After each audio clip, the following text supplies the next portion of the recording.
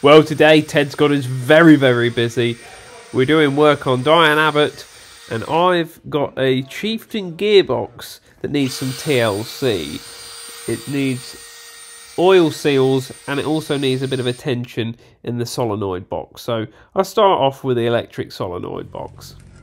And straight away I can see we've got issues. Water's got past the seal and got inside with the electrics. This is not good.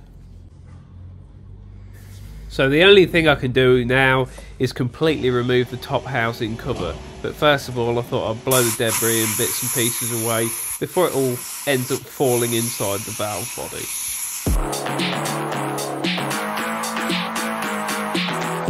Now with the cover off you can really see just what a state this thing was in. So I carefully cleaned and lubricated, got everything moving freely, and just cleaned all the contacts up along the uh, electric rail, and just got as much rust and dust and grease and crap out, and lots and lots of cleaner and an airline blowing off, and you could start to see already this thing starting to look rather good again, and uh, and nice and free as well. So that's a good start. So I'm quite happy with that. Time to put the cover back on. These chieftains are semi-automatic and it's the electric solenoids that I've cleaned off here which actually select each individual gear. When you when you click up a gear it sends 24 volts to each individual selector depending on what gear you want to go in. Right, well I'm happy with that solenoid box, so now it's time to press on and try and get these oil seals out.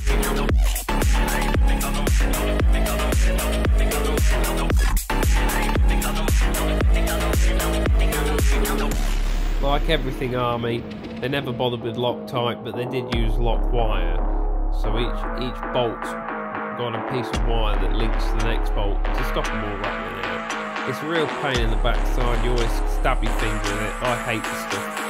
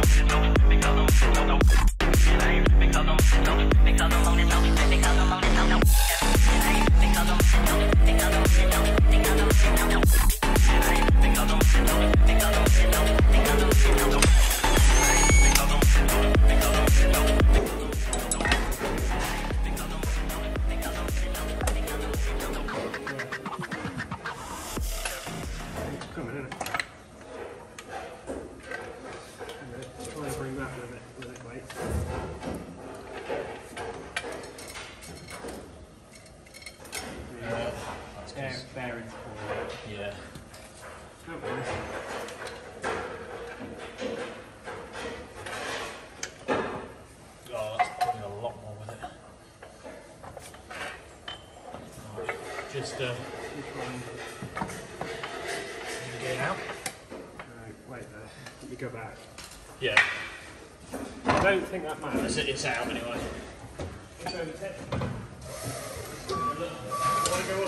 No, just go straight back. Alright? Yeah, go on. Got it. Go on, keep going back. There you go. Inside. Oh, there's a fair few come out of it. Yeah, I thought there. I'd, I'll oh, just wait there. I'll, we'll count them back in. Problem is, I don't think you're going to get Looks them. in good nick though. Does look in good nick. I think it's a, I think it's a double one. Do you want to try and find a magnet, Seb? There's a magnet there. I've literally just bought one. Ah. Bendy, a special bendy wendy one.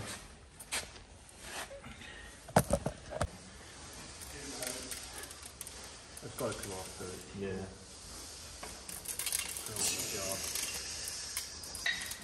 That is going to be. that is going to be horrible. Good! Back together. They're literally all over the floor. What were they thinking when they made that bearing just hold a bit? These little cops put all this in. Look at that. And then that have sat in there. I'm just going to put it back in there for now. Oh, look at me. Oh, that's a nice bit of engineering, actually, isn't it? It is quite smart. It's going to need a damn good clean. Think of the money that that would have cost. Oh, us. millions to and fucking millions think of that of idea. So now, what? how the hell? Well, that's what I was just looking at because I still don't see a way that that clips off there. Now?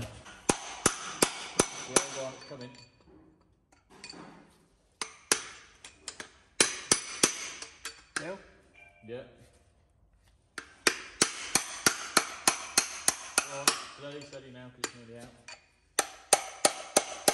Top a bit more. What's the order in which it all comes out? Yeah, right.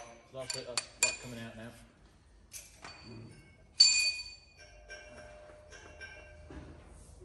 Oh, mate. There it is.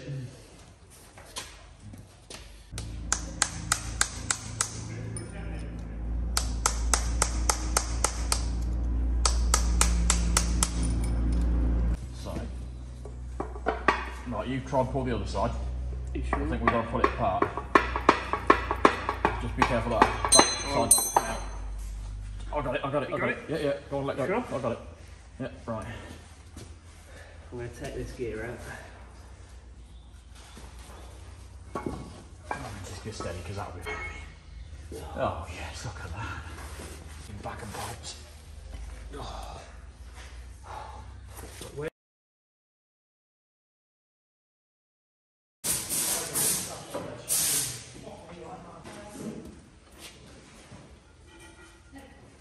Just push that other.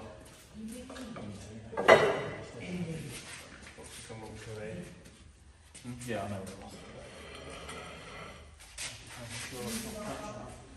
Yeah, that's alright. Then what do you want to do? Put it under it just to catch it. Um, we can put uh, the rag bin under it. And something that's about that round. Which happens to be that mallet. Oh, perfect. So if you get the rubber mallet, we did it see that it's working.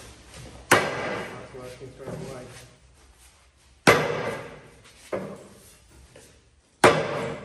We go.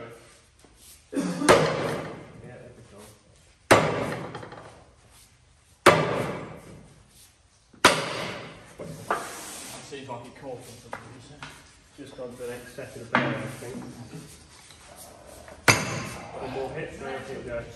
There we go. dude. That was What an arsehole. Very easy when you know how. Seal. All that, like solid seal. Yeah, we've still got to get that bearing out the back. There we. I won't come out of it. You don't need to get the bearing out. Just need to get the seal out. Yeah. Yeah.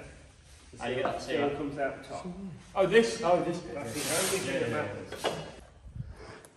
All of that, that sodding oil control seal. That was fun, wasn't it? I had a wild little time, mate. I love smacking fuck out. Great. Right, let's get that out, get some new ones. Hmm? Well, there it is, everything stripped out. Hopefully, get these new seals maybe next week. With any luck, what a nightmare job that was. All those little roller bearings that fell out. I managed to uh, put some grease around the shaft and one by one put them back on. Um, so, obviously, I need to be more careful when I do the other side when I'm taking this face off to take it off and let that shaft stay in this side so it doesn't pull this cog off and all those bits fall out everywhere. Because that took me about two hours to pick them back in, which was horrible. Um, but otherwise, it's looking pretty good. I need to remember to change that O-ring there because that's obviously oil feed into that housing that lubricates them bearings. Um, I will take that back off and give that a good clean because that did uh, get some crap in it. But um, otherwise, it's looking pretty good. And then I've just got to do the oil control seal again on this side because it's leaking down the back, same as the other. Obviously, that side, the other side was a lot, lot worse, but um, it may as well go together, being uh, being right. Um, and obviously, hopefully now the solenoids will be okay. Shafts all freed off for the emergency gears. So, fingers crossed, this will uh, go in concrete. The discs for this are on the side over here that we had skimmed at Harper Engineering. They're all good to go. So, got them to go on. I think the calipers that we took off will be all right. I'm going to give them a good clean and uh, check the seals in them. I'll put the airline in and blow the pots out and just make sure that they're not stuck. Um, so yeah, the old uh, Abbott pack is looking a picture now, considering how terrible it looked before. It is actually quite a good engine. It hasn't actually done that many hours, so uh, we gave it a bit of a lease of life. The old team's done a pretty good job on that, so hopefully that'll be going back in soon. That's the steering oil tank. Um, we took all the lights off and all the wiring at the front because all that was all smashed to bits and none of the lights are even joined on. So I've got some wiring to do, but obviously first we've got to straighten bits out, needle gun, paint everything before the engine goes back in. So we are getting there with the Abbott as well, at long last. But that's Jack's little project really. Uh, we've helped do the engine and stuff. Um, the next thing that I'm going to be spending my time on now, Seb's tanks out, is uh, is the Diamond T. So hopefully, um, in the next week or so, I'll be starting to put this back together. The all the cab on the front, the bonnet, and all that business. So it'll be looking a nice bit of kit. I can take the tarps off when we're done painting, or now that engine's painted, that can go back in.